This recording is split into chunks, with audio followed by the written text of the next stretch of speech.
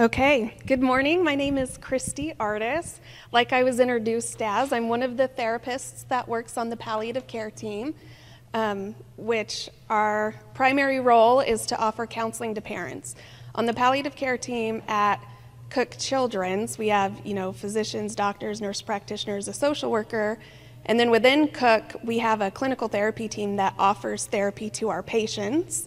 And the need to offer additional emotional support was identified by our palliative medical director, and that's how our role was created. And this is Lisa Patterson. We're the two therapists on the team. I'm going to take the lead on presenting this one, and then after this, she'll um, talk more about what palliative care in general is. But I am curious and need to know, like, who volunteered to talk about grief on a Saturday morning? So I'm wondering, like, who is here, if you could raise your hand, for personal connections to Dravet syndrome? Parents, family members, guardians? A lot, okay. And anybody here solely for professional connections? Oh, okay. Okay. Okay, uh, I saw that there was, yeah, some future something going on at the same time. Um, so let me let my notes here. Okay, so I imagine that the committee that planned this conference is especially well informed and titled this session and wanted to do one on prolonged grief because that's actually a diagnosis that was just added to the DSM in the last year. And the DSM is the Diagnostic and Statistical Manual for Mental Health Disorders, so it's our holy grail in what are the criteria for diagnosing people for mental health disorders. And the speculation, I haven't seen this officially, but the speculation is, is that because of the pandemic, we have all experienced a great deal of loss, and mourning got incredibly complicated by pandemic protocols.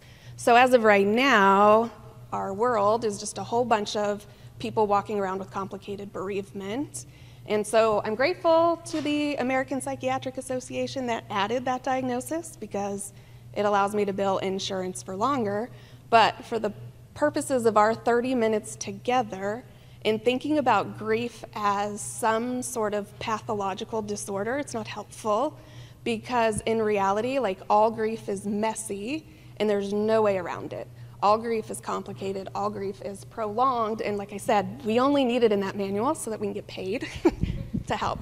But it's really not helpful to think as some sort of disorder. Um, oh, let me go back.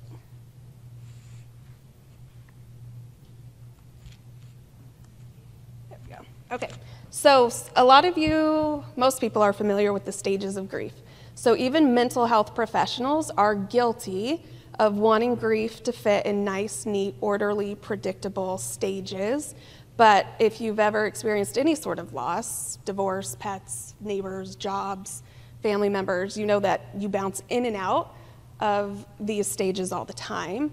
And that's the important point. Um, and then you combine this need to move in and out of all of the stages of grief with our American society that highly values efficiency and convenience, and in society, the space that's created for allowing people to move all around this grief process has gotten really small.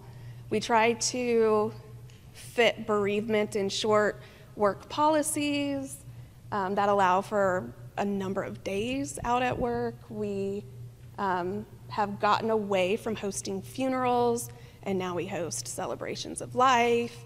In lieu of flowers, we ask for donations. But in reality, like all of those things have existed for a long, long time because they were important. And if I could have my greatest wish come true, it would be that we would like wide open create space for people that are grieving. And we would go back to the days when you wore black for a week and everybody in your community knew that you were sad and you got more casseroles than your refrigerator could fit. And the whole town sent flowers because that's an important part of moving through grief and assimilating a loss into your life.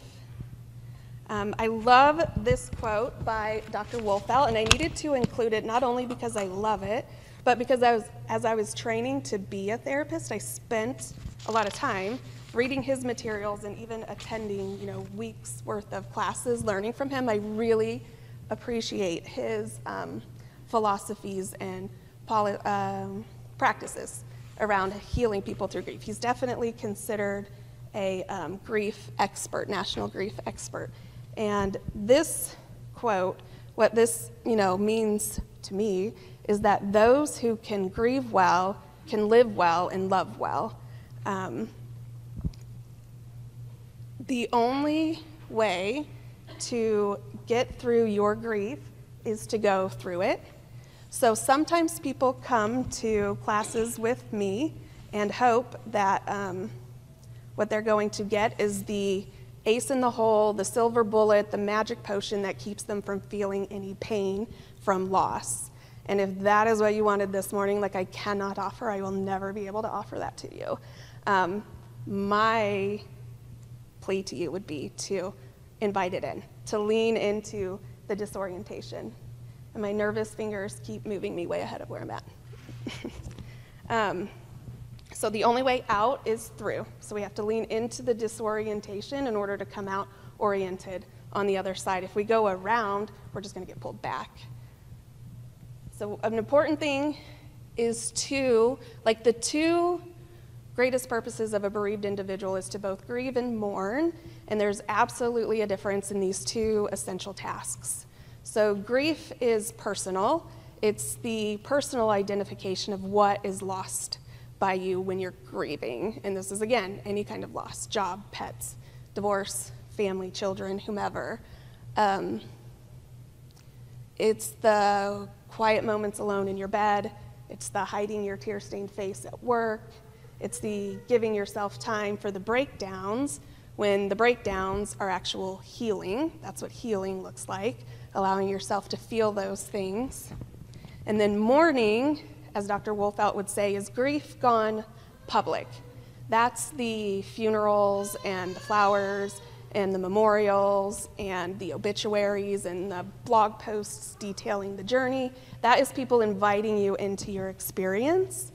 And, you know, obviously I'm a therapist, so I'm going to tell you feel it to heal it. That's why grief is important. And then the reason why mourning is so important is because our brain's job is to maintain homeostasis. It needs to maintain heart rate, blood pressure, temperature. And your brain doesn't want to feel pain either. And so, if it can deny the reality of what happened to you, it will for as long as possible. So, what the flowers and the casseroles, the funerals, the anniversary celebrations, they force you to accept the reality of what's happened. When you skip that step, that's where we get, we block our own healing because um, we can lay, stay in denial for a long time. So I wanted to, I think people like stories, so I wanted to paint two pictures, two good examples that we've experienced on the palliative care team in watching people work through this process. So, as Lisa's going to explain, palliative care follows families for years that have any sort of life threatening or life limiting medical condition. Um, so we see lots of things, and we, you know, can start as early as diagnosis. We want to be early in the process, and then, of course, we stay present for people past a bereavement period. Um, so, a good example of a family that was mourning, that mourned really, really well, is a family who had a baby with a trisomy 18 diagnosis. And that diagnosis, I hate this saying, but it's one of those that's considered incompatible with life. That's the most brutal statement to say to a parent. But um, most babies with trisomy 18 are going to die in utero. If they live, it's maybe a 5 to 10% rate that live past the first year. So, this family that we were working with found out prenatally about this diagnosis and were incredibly thoughtful about what was important to them, what their values were, what quality life looked like. And um, their baby, at about six months of age, started having some respiratory setbacks, was getting admitted to the hospital more frequently um, needing more intervention every time he came back. And around eight months of age, they decided for him to allow him to experience a natural death. And this family mourned so well. They had the Trisomy 18 community wrap around them and host events for them. Their church you know, totally, his memorial had to be at a park because it would not fit in a building. So many people showed up for them. Um, she had a blog post where she detailed their journey, lots of followers. Um, on is either his birthday or the anniversary of his death, they collected donations of baby items that their baby loved and brought them back to cook. Like they even, this is a great idea by the way, came back and had lunch with our team. they wanted to break bread with the team that um, you know had walked that whole journey with them. Um, but several months in, she's meeting one on one for therapy, and one like she's done all these things. You know, it looks as if she's assimilated this loss really well into her life and found meaning in the loss. But she's wondering why she's still not able to sleep at night, why she still can't picture a life without her son, and why there's so much distress within her. And um, the reality is that she was terrified to get to the point where you fall on your knees and you get engulfed in the pain. She had really gone too far with the mourning and just distracted herself from the reality of what she lost. So for her, it was getting her brave enough to move backwards and to lean in to the pain that she was holding on to. Because the only way to get on the other side is to go through that. But people, even not just in grief, in all kinds of therapy, people are terrified to feel their feelings because they're afraid it's going to swallow them whole. Um, and of course, it's our job to help them combat some of those thoughts and build some of that resiliency up. And then, so to paint a picture for grief, this should be a quicker story. Um, a good example that I can think of is a family that had a daughter with severe cerebral palsy and for 19 years required 24 7 care from her mother. And similar to our trisomy 18 baby, um, their daughter was having frequent admissions to the ICU, every one longer than the last, more intervention required every time. And by 19, they decided, you know, she had had enough and they wanted to allow her to experience a natural death. And this mom was so private, she would not tell her pastor, she would not tell her church. There was no obituary, there was no funeral. Neighbors didn't know. Her husband and her son, who lived in her home, knew. And then her mother in Mexico knew. And then those of us at Cook knew. And I, she's the first person I think of when I think about grief without the mourning because she is the mother I spoke to the most that whole next year. We brought her back into clinic all the time, trying to support her, but she was really hard headed. I mean, she needed more than to just do the mourning side, but by the time she, maybe a year after her loss, she created a t shirt and put her daughter's picture on it. Um, I think she brought a cake back to our team and she created a flyer. And I don't really know what she did with the flyer, it doesn't matter. But all of these things were invitations to other people to join her in the loss. And for a year, she was abs- she did not want to experience another day without her daughter. And um, understandable, of course, and she just could not figure out what to do with herself. But when she really started working and opening herself up, um, it took a long time, but she would finally, you know, got back into work and did find. I think she still carries her daughter, who was cremated with her everywhere, but she um, doesn't have those blocks to daily living like she did for a really long time. Um, so you guys are all family members, so, but this might still be helpful to you. This is sort of the script that I give when I talk to like the nurses or physicians at Cook and how to support parents within the hospital that are grieving um, is we, and I, get, I feel like I should point out, death is the easy thing to, t- to default speaking to when you work in palliative care and uh, when talking about grief. But again, like grief starts, can start when a child's diagnosed with a medical condition. And that's why we love our role because we get to be there for the whole journey. Um, and so when people are even losing hopes dreams and expectations for children. We just need to remember that healing happens from the inside out. It cannot come from the outside in. So there's no need to tell people how to feel. There's no need to tell people where they should be in their grief process. What we need to do is sort of move back with them and tell them and let them tell us what's happening on the inside. Um, but people, again, want to know what's the, how, what's the magic potion? How do I get around the pain? You know, and as helping professionals, we wish we had that answer, especially the doctors and nurses. Like, they hear a symptom, they offer the relief, they offer the, you know, the solution to that. Um, so it can be really hard to just be willing to move back and learn from somebody else about what they're going through. Um, the last point is one that I like to put on, which I imagine you guys have more experience with than I do and would just say amen to, is you know, relying on logic to be helpful is not helpful because things can absolutely be true that are not helpful. And helping professionals love to meet you with logic. But the reality is is people need to get disoriented and on the other end of that, they will come out with the logic, they'll come out with the truth, but just having it prescribed of what's true and what needs to be believed in that moment isn't helpful. So things like people want to beat you over the head with, but there's nothing you could have done differently, or this isn't your fault, like all those things are true, but they need to believe for a minute that there's something they could have done. They need to wrestle with that. They need to suffer through it, and they need to come to the conclusion on their own, you know, and they'll get there.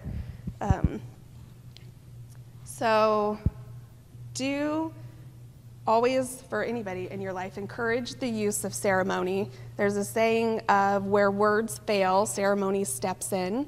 Sometimes there's not words to put to things, so you know, encourage the planting of the tree and the birthday cakes every year and celebrations. Um, you can help people identify the supportive individuals in their life. Uh, it's not always obvious who the great supporters of grief work are, um, because even, you know, ecclesiastical leaders can get stuck on, you know, faith over fear and not allow people to feel the fear.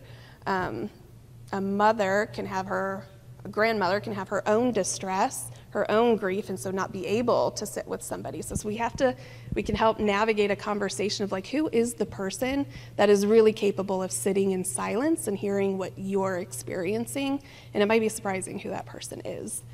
Um, the other thing I would say for the people that just have to have an answer, for people that are hurting, um, two pieces of advice that I will give to parents in the hospital because so many parents will say, I can't do this, I can't go another day, and I will say, yes, you can. But the two things that will make sure you don't are if you get dehydrated and you're not sleeping. So th- there's the advice you can give. Set glasses of water out in the morning so that you have visual cues of staying hydrated. And so many people cannot sleep when they're hurting. So we just encourage, you know, close your eyes, put your feet up, go horizontal twice a day for at least 20 minutes. Give your body some time to rest so that you don't, you know, break down on yourself. So I wanted to give an example of empathetic statements because sometimes what people think is empathy is actually wildly minimizing. Things like, "Oh, that's normal." Well, this person is lost in that wilderness and they feel crazy. So telling them that this is normal is incredibly minimizing to what they're walking through right now. Um, Abs, as a therapist, I would tell you take the words at least out of your vocabulary. Nothing helpful follows a statement of at least. Pointing out the blessings, the positives, not helpful. Um, and of course, in therapy, there becomes a time where we have to pull people back out and, like, okay, come on. But in acute crisis, in, you know, grief, in your short interactions with people, it's not helpful to encourage people to look for the silver linings and be appreciative for the plan that somebody might have put in front of them. What um, some statements that, of course, and don't tell people where they should be by now. It's been six months, or you know how you felt at the time. It's more helpful to say things. Here's what we do say. Things like, "Tell me more about that." This experience sounds really painful for you. Tell me what it's like. Um, and of course, be willing to sit in the silence and tell me more. And another great thing to do is if you can think about this is moving people backwards. Um, anytime I meet with somebody for grief therapy, the first few sessions are always on, if it's the loss of a family member, um, tell me about that person. Bring pictures. Tell me about your favorite vacation. What was their favorite sport? What's your, what did you hate about that person? I if I'm going to help you, I need to understand the magnitude of what it is you lost. And if you really don't understand the magnitude of what somebody lost, like you're not there to give advice, you know, that is the first goal. Um, so if you can't sit in silence and you want some words, the questions about the lost individual can be helpful. People want to talk about this, you know. Um, and if they don't, they'll tell you, so don't be scared to ask. um, and in that, in the thing about the truth, like what's true isn't always helpful. You know, people are beating themselves up with wishing they would have called 911 sooner or wishing they would have gotten to the doctor a year earlier. And um, instead of saying, well, that wouldn't have made a difference, where we just shut it down and said, you shouldn't be feeling that way, you can say, what I hear is if you could do anything to change this situation, you would. What I hear you saying is you love this person so much that you would have given anything for them to still be here. You can validate the experience.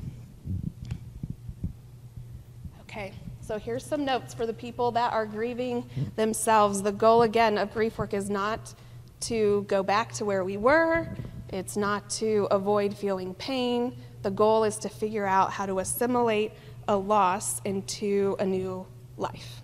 This is especially if you're a bereaved parent. You, you don't go back to being a not bereaved parent, like you're always a bereaved parent. Um, the loss of a child is so unnatural um, that trying to get back to what you were isn't possible and would be unfair to try to expect of yourself. So we're working to create a new life with this person that's still gone included somewhere. Um, grief work is incredibly slow and recursive, so you have to be extremely patient with yourself. Again, there's no rewards for speed, there's no set deadlines on where things should be, so you have to be patient and graceful with yourself. And even for therapists, if they don't have a lot of training in grief work, they can do some harm because some people just want to look forward. They just want to feel better. And some therapists are like, all right, let's go. Let's solve some problems and let's move. Let's go forward. But if they don't take the time to move you backwards to fully experience what you lost, that relief is short term. Um, in order to get some long term relief, there has to be the work behind you. So, here are some helpful tips for people that are grieving. Create a routine. I, I think back to basics. This is also what I tell parents in the hospital. If you need, like when you would do for a toddler, when you had a checklist of get your shoes on, get your pants on, brush your teeth, take all the extra decisions and mental power of your day out. As many decisions as you can outsource, as many visual cues as you can remind you, because the capacity up here is going to be limited. So create a chart for yourself um, so that you can be reminded of what it is you need to do. Back to basics, get yourself a feelings chart. America, we are not great at identifying feelings. All people know is that they're either angry or sad, but if you look up a feelings chart, there's way more than that. And again, I'm a therapist, okay? This is how I talk. I talk feelings. So get yourself a feelings chart, label the feeling, acknowledge the physical toll, like something significant uh, a big demand is being placed on your body when it comes to attending to a loss, so the physical expectations of yourself may be lower. Um, I'm always going to encourage traditions. We're not trying to forget anybody that we've lost ever. Absolutely create ceremony and then find a way to release distressing emotions. When emotions cannot get released, that buildup causes chronic stress in their body. And that leads to all kinds of people start getting stomach aches, they start getting headaches. Um, I think in the descriptor of the descriptor of this session, I said like grief will work to get your attention if you don't give it attention. And that's the grief coming out, like pay attention. It's the inability to focus in a conference, you know, or wherever you are. The grief is going to work. Those are pay attention to there's cues, there's something I'm holding on to that needs to get out. And releasing distressing emotions is so different for so many other people. Again, it's crying in your car when you're alone, or um, punching pillows out of anger, crying to a friend. Um, some people use movement to just get that stuff out. It looks different for everybody. Of course, therapy is another tool to release distressing emotions. Um, even though I say there's no timelines, I do, in the people that I have met immediately preceding a loss, I would say within the first six months, they are coming in to avoid the grief work. They want the tools and the tricks to stay out of the pain. So I tend to think therapy is not going to be helpful until some of the natural disorientation has already happened. So getting in, I have people that, you know, I talked to, my mother was just diagnosed with breast cancer. I want to come in so I can get ahead of the grief. I'm like, oh, there's no getting ahead of grief. Like, that's going to be hard no matter what, my friend. Um, I don't say it like that. I'm a little nicer. But um, so just know, like, rushing into the therapist is actually not the greatest plan. I will tell you, I think it's maybe this side, the time to incorporate professional help is number one if anybody is at a point of considering harming themselves or somebody else. If those feelings of not wanting to live without their family member are so strong that they really have a plan to hurt themselves or somebody else, of course, that's when we're going to engage a professional. But then the other thing is if somebody is crying, if somebody's sad, they're angry, they're bouncing around, like that's okay. That is the healing. It's when somebody gets to a point of months down the road and they're still not out of bed, they're still not completing the activities of daily living. Um, maybe that's when you need a professional help. Maybe we've gotten into the complicated bereavement, but in reality, we don't go to therapy just so we can make the grief look pretty. Um, it's when it's harboring blocks, keeping you from being able to perform a job, keeping you from being able to parent other children. Um, maybe that might be a point to consider therapy. Um, again, feel it to heal it. and the chronic stress will manifest if we don't attend to it. So I want to know, I wanted to ask Lisa to come up here with me in case you guys did have questions or concerns about or thoughts for me on grief or therapy. Lisa's going to get more into palliative care, so if you have questions about that, she will cover that next. I stuck to my 30 minutes.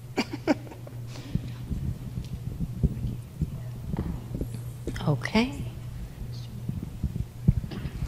Thank you so much for the presentation. Um, my question is the tricky thing with us, with Dravet parents, is that uh, grief, we. Okay, several things. There's not just one. Sorry. You gotta, you gotta wrap it up, right? The, we can't do that. yeah, well, it's just that we don't have the time and space. You know, like we don't, we don't have. I don't have a child who died, but I did because mm-hmm. he's different. So I'm grieving through it. You have to grieve. Th- it's complicated because you have to grieve through things, but I don't have the time and space because I have to care for him. What are your thoughts on that? So my first thought is then this is a sh- wait. She has something to go along with it. Is it Sorry. similar? Okay. Sorry, this is this is what I was going to say because mine is more of a thought than a question. I myself am a medical social worker. I'm a mental health professional. I've worked in palliative care and group homes and things like that. And then I became a parent of a child with Dravet syndrome. And so I thought I had my coping mechanisms in my toolbox and like I knew how to do this and I'm an advocate of therapy. But guess what? When it's personal, it doesn't matter. Even if I could tell other people how to do it, I didn't necessarily know how to do it myself. So you have to figure out what works for you.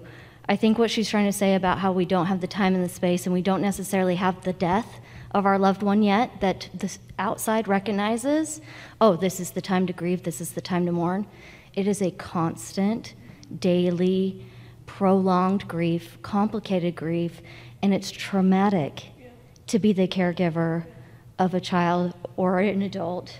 Especially, I'm feeling that as my child is growing, it's even more traumatic because the gap between him and his peers is getting larger and larger. Mm-hmm. Um, you need to feel, deal, and heal, but you've got to figure out what works for you. And so, if you find a therapist that is not aware of intellectual disabilities or trauma or whatever, go find another one it's very much an individualized personal thing. And also for me, I have experienced a lot of healing through EMDR therapy, which is like a different type. Just know that you have to take care of you because if you don't, you can't take care of your child. And just as she said, you you would do anything, anything to go back and make it different, but we can't. And so I just want you all to be aware that even me, the professional that used to be like the director of social work at a hospital, I get it wrong all the time. And sometimes things are working and sometimes they're not. And it's okay. It's okay to feel. And that, do you remember that squiggly line where it's like, this is your experience? Like, it's all right to not be linear or to not have your journey look like somebody else's. Does that help you, Mandy? Jean wants to add to that. Sorry. Here's another parent who professionally. You professionally, guys I, are living and breathing it. I understand. yeah, I was a school counselor. So we have all gone through the grief of losing a normal child. So, like she said, we, we are all grieving all the time. And, and I, I recognize the stages in myself the shock, the anger, the denial, the despair. And we came to a point where we had accepted that we had a disabled son, and things were pretty rosy for a while. And then I just sort of want to warn the rest of you if you have a normal child, I found myself going through grief again when my normal child went to college, fell in love, got married, had children. And it hit me, gee, my son Danny will never be able to experience this. Um, so I'm, I'm just kind of doing this as an alert, Yeah. right? Well, and I want you to know it doesn't mean that you didn't accept, it didn't mean you didn't do the work ahead of time that the grief caught you. Again, like you were looking at a new situation, and we, I think, call those grief bursts. Like this sort of thing is going to resurface again. So, absolutely. Um, Um, before I get to the next question, I don't know if I'm supposed to be able to chime in or not, but um, I, I'm hearing, you know, people get worried about um, our grief doesn't look like everybody else's. But you know what? I think the other thing too, and this is something that you guys probably know and hopefully are aware of, and, and telling families like us that we do have the grief though, and the thing is, is that we're constantly going through it, and our child has not died, right? For some of us, but pieces, I, I look at it as like pieces of it have, because we went through the death of the hope and dreams that we had of our child being neurotypical. Then we go through the death, and I'm using the death word because it's this, uh, the association with Yeah. the grief. So then we go through the death that my child may never walk. My child may never speak. My child didn't hit this milestone. My child doesn't look like this child.